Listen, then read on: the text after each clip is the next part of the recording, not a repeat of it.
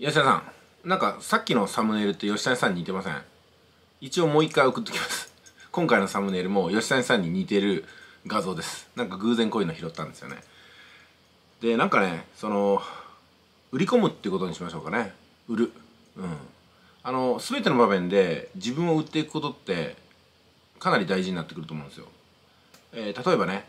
あの女の子とお付き合いする時にやっぱ自分を売り込んでいかないと。自分と付き合ったらこんなメリットがあるよとかね。楽しいよとか。あ得だよみたいな感じがないとなかなかですよね、うん、まあそれは逆に言うと自分も他者に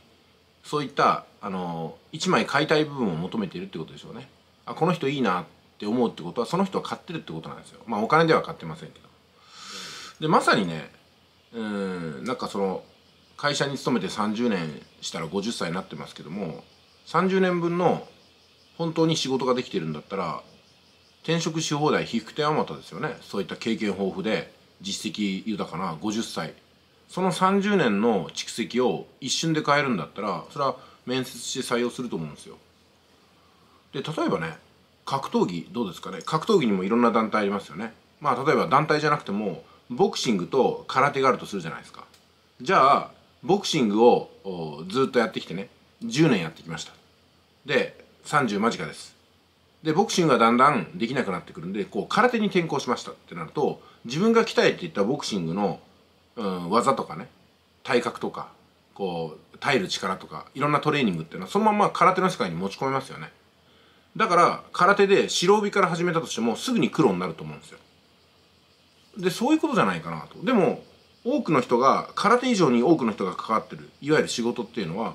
10年勤めても20年勤めてもポンと別の会社に入ったところでじゃあ商品作るの上手ですか？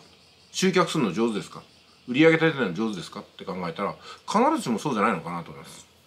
さあ自分の身に置き換えて私がこれから就職活動するとしたらねしないですけどもするとしたらどういうふうにやっていくか。まず最初の一歩が違うと思います。面接に行く際にまあ履歴書とかもありますけども学歴を重視とかなんとかじゃなくって多分私はねインターネットのことを履歴に書くでしょうね。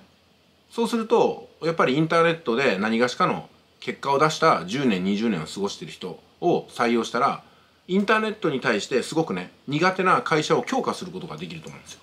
で実際私は自分で商品も作ってきたし集客も自分でしてきたしそして自分のバイラルの中でセールスもしてきてずっとやってきましたってことをあの会社にお話しすると多分会社の人もじゃあうちの会社の商品を売ってくださいよ。いやったらうちの会社で新商品作ってください集客してください。販売してくださいって感じで多分インターネット部門っていうのを作って私がそこの部長として着任してですね。でその売り上げに応じて何パーセントが私がいただくって形を取るでしょうね。でそこで私があの自分の即価塾ってものをやるんではなくってね。例えばわかんないですけどもソニーっていう会社とねもしコラボしてソニーの一部門でインターネット部門がもしもしあったとしたらねソニーっていう看板と自分のスキルを組み合わせて両方ともウィンウィンになるのかなと、まあ、もちろんソニーはすでにねインターネット部門十分に成熟してますんで私なんて必要ないと思いますけどね。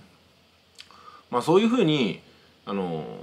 これからの就職活動っていうのは何歳だろうとあの就職しようとする会社にあの足りないものを自分が持ってればいいのかなと、まあ、そのために経験とか知識を積んでいくのが毎日の仕事なんじゃないかなというふうに思いますけどもね、えーどうでしょうかね。はいえーということでね、えー今回は何でしたっけ吉谷さんに似ているサムネイルということでお届けしました。